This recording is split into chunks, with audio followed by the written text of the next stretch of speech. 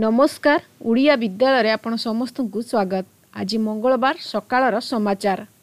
ଆଜି ହେଉଛି ପହିଲି ରଜ ସାରା ରାଜ୍ୟରେ ପିଠାପଣାର ଆସର। ରାଜଧାନୀରେ ବଢ଼ୁଛି ପାନର ଚାହିଦା ଚର୍ଚ୍ଚାରେ ଚାନ୍ଦିପାନ ଗୋଟାକୁ ଦୁଇଶହ ଟଙ୍କା। ଆଜି ଦେବସ୍ନାନ ପୂର୍ଣ୍ଣିମା ଭୋର ଚାରିଟାରୁ ଛଅଟା ମଧ୍ୟରେ ପହଣ୍ଡି। ରଥଯାତ୍ରା ପାଇଁ ରଥଦାଣ୍ଡ ପ୍ରସ୍ତୁତ ନିର୍ମାଣ ଚାଲିଛି ବ୍ରହ୍ମ ତାଳଧ୍ୱଜ ରଥ।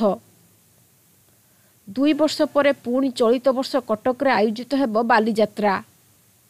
ଅଠର ସହରରେ ଚାଳିଶ ଡିଗ୍ରୀ ଟପିଲା ଦିନ ତାପମାତ୍ରା ତେୟାଳିଶ ଦଶମିକ ତିନି ଡିଗ୍ରୀ ସହ ସୋନପୁର ରାଜ୍ୟର ଉତ୍ପତ୍ତ ସହର।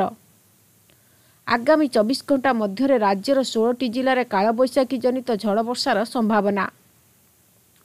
ଗାଡ଼ି ଚାଳକମାନେ ହୋଇଯାଆନ୍ତୁ ସାବଧାନ ଖୁବ୍ ଶୀଘ୍ର ରାଜରାସ୍ତାରେ କାର୍ଯ୍ୟକାରୀ ହେବ ରାଢାର ଇଣ୍ଟରସେପ୍ଟର ବ୍ୟବସ୍ଥା। ହାମ୍ତା ପାସ୍ ପାହାଡ଼ ଶୀର୍ଷ ଛୁଇଁଲେ ଓଡ଼ିଶାର ଚବିଶ ପ୍ରତିଭା ଚଉଦ ହଜାର ପଞ୍ଚଷଠି ଫୁଟ ଉଚ୍ଚରେ ଉଡ଼ାଇଲେ ତ୍ରିରଙ୍ଗା।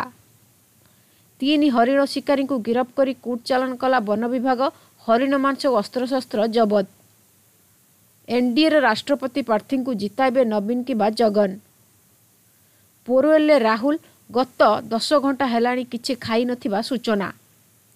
ଦୁଇ ପଡ଼ୋଶୀ ଲାଗିଲେ କଳି କୋର୍ଟ କହିଲେ ଦଣ୍ଡ ହେଲା ଯମୁନା ସଫା କର ପୁଣି ଡରାଇଲାଣି କରୋନା ମହାମାରୀ ବିଭିନ୍ନ ରାଜ୍ୟକୁ ସ୍ୱାସ୍ଥ୍ୟ ମନ୍ତ୍ରଣାଳୟର ସତର୍କ ବାଣୀ।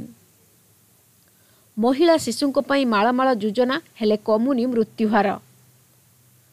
ଜେରୁଜେଲେମ୍ରେ ଆଲଆକ୍ସା ମସଜିଦରେ ଧର୍ମଗୁରୁ ଦେଲେ ବିବାଦୀୟ ଭାଷଣ କହିଲେ ପାକିସ୍ତାନ ଭାରତକୁ ଆକ୍ରମଣ କରିବା ପାଇଁ ଦେଲେ ପରାମର୍ଶ। ମାଇକ୍ରୋସଫ୍ଟ ଇଣ୍ଟରନେଟ୍ ଏକ୍ସପ୍ଲୋର ସତେଇଶ ବର୍ଷ ପୁରୁଣା ବ୍ରାଉଜର ହେବ ବନ୍ଦ ଲୋକଙ୍କ ରହିଛି ନିଆରା ଅନୁଭୂତି। ପ୍ରତିରକ୍ଷା ବାହିନୀ ପାଇଁ ଅଗ୍ନିପଥ ଯୋଜନାର ଚାରି ବର୍ଷିଆ ନିଯୁକ୍ତି ପ୍ରଦାନ କରିବେ ସରକାର। ବିସିସିଆଇର ଗୁରୁତ୍ୱପୂର୍ଣ୍ଣ ନିଷ୍ପତ୍ତି ବଢ଼ିଲା ପୂର୍ବତନ ଖେଳାଳିଙ୍କ ପେନ୍ସନ୍। ତୃତୀୟ ଟି ଟ୍ୱେଣ୍ଟି ବାଦ୍ ପଡ଼ିବେ ଋତୁରାଜ ଗାଇକୱାଡ଼ ଏବଂ ଅକ୍ଷୟ ପଟେଲ। ସ୍ପିଡ୍ ଷ୍ଟାର ଓମରାନ ମଲ୍ଲିକଙ୍କୁ ମିଳିପାରେ ସୁଯୋଗ।